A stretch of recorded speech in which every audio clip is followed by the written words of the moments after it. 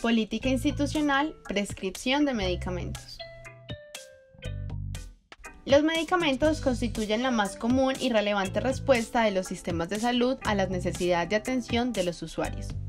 Se ha detectado la existencia de un conjunto de riesgos que afectan el uso adecuado de los medicamentos, siendo el objetivo de la presente política evitar los relacionados con la prescripción.